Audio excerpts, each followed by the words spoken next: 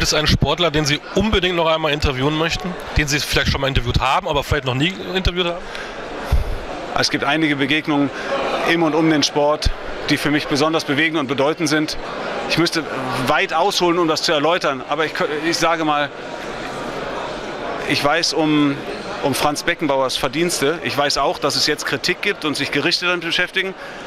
Völlig klar und das ist auch richtig so. Aber ich weiß, welches Ansehen er in der Welt hat und, und wie er von Fußballfans in aller Welt gesehen wird. Ich war oft genug dabei, wenn Leute ihn einfach nur mal berühren wollten.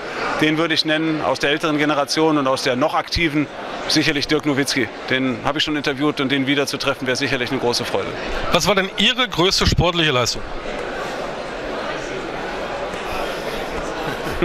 Ich wollte den Marathon laufen unter vier Stunden. Und ich habe vier Stunden und acht Minuten gebraucht und erzähle seitdem, dass ich in 3,68 gelaufen bin. Also für mich irgendwie gefühlt unter vier Stunden.